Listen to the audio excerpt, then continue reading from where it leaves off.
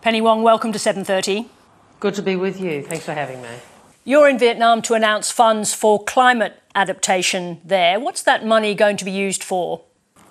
Well, I'm in Vietnam to do that, but I'm in Vietnam as my second visit here as Foreign Minister, coming on the back of the Prime Minister's visit, because Vietnam is a really important partner for Australia. It's an important partner bilaterally, but it's a particularly important partner in our region. So we're very pleased to work with them uh, in, on their priorities, and one of the priorities is obviously climate change. Uh, and I've un- announced uh, just over $94 million today, which are, is about programs in the Mekong Delta and climate change adaptation, uh, which, as you know, is such a big issue for the countries of the Mekong, particularly including Vietnam. Now, how much is this particular partnership, and I'm talking here about the money for the Mekong Delta, how much is this about countering China's impact on that incredibly important river system?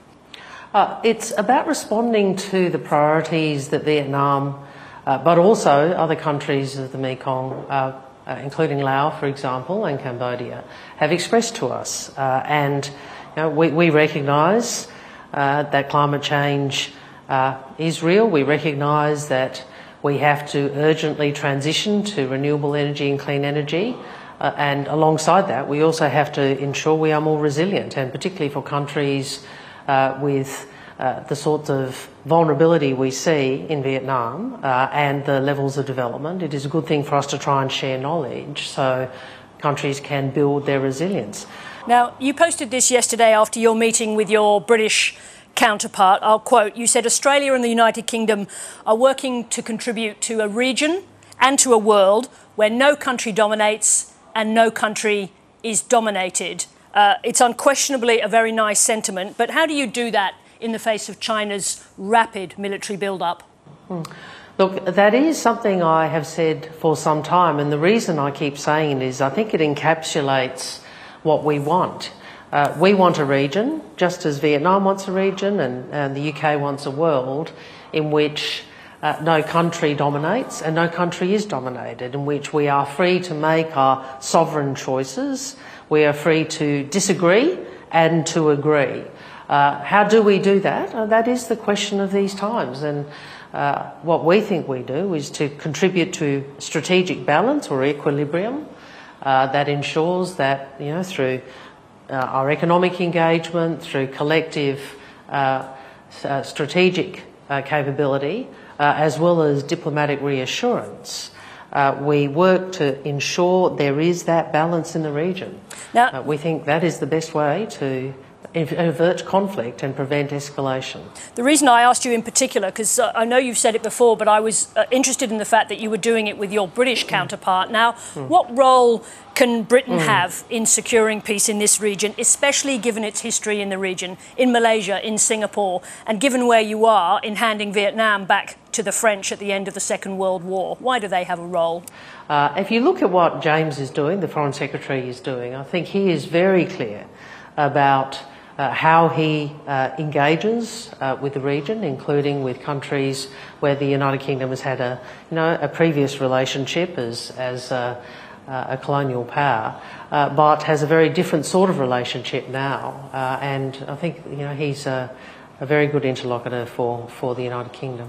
Uh, imprisoned, imprisoned, Australian Cheng Lei uh, gave a statement to the Australian people on this program a couple of weeks ago. I think a lot of Australians were shocked when they heard about some of the conditions of her imprisonment, including very limited access to sunlight. I think she described her bedding being aired just once a year. Is there any influence you can bring to bear on the Chinese to improve the conditions of her situation? Well, uh, I, I work to bring whatever influence I can uh, to advocacy for uh, Ms. Cheng Lei, also for Dr. Yang. Uh, we have made clear at all senior levels in our engagement with uh, China uh, and our Chinese counterparts that these are important matters, that we wish to see them reunited with their family. I think all Australians were very moved by what your program aired and what uh, Ms Cheng Lei uh, said or wrote, uh, and you know, all Australians would be united in wanting a, a, mother to be reunited with her family. Let's just come back to the voice debate in Australia because audio has emerged of comments that you made during the Labor Party conference at the weekend. You were expressing distress at the way that debate is being conducted in Australia. You referenced in particular uh, an argument made by John Howard on this program in the early 1990s during the seminal uh, the debate over the seminal land rights case Mabo. I'm actually going to play the audio of that particular clip that you were talking about. This shows 78% of the land mass of Australia coloured brown on this map. Now, the Labor Party and the Democrats are effectively saying that the Aboriginal people of Australia should have the potential right of veto over further development of 78% of the land mass of Australia. Penny Wong, is there a connection between the way that argument was being conducted there by John Howard and the way the No campaign is being run in Australia today? Uh, look, you, your viewers, I'm sure, can make their own decision about that. But can I tell you um, what I what I think and what I believe and what I see? I think this is a debate which has the potential to bring Australians together. I believe it's important for the country, and I believe it's um, you know, that listening to people, recognising our First Nations people, listening to them and getting better results is a good thing. Um, I also uh, observe that there are those who oppose this who don't seek to unite this country, who seek to remind us of difference, uh, who seek to uh, say things uh, which uh, are designed to make people fearful. Uh, and I don't think that is the way we should be having this discussion. And, and does that, were you talking about that particular clip of John Howard's on the programme because you think it does that, that it, it sought to make people fearful or to misrepresent the argument of the time? Uh, I think history has shown that that argument was um, was exaggerated, uh, and I do remember how I uh, and many Australians felt uh, at the time of that interview about what was said uh, and the Prime Minister of the day holding up that map. Are you surprised so many years later at the profound influence that John Howard and his acolyte Tony Abbott is still having on the debate, on, on the current debate?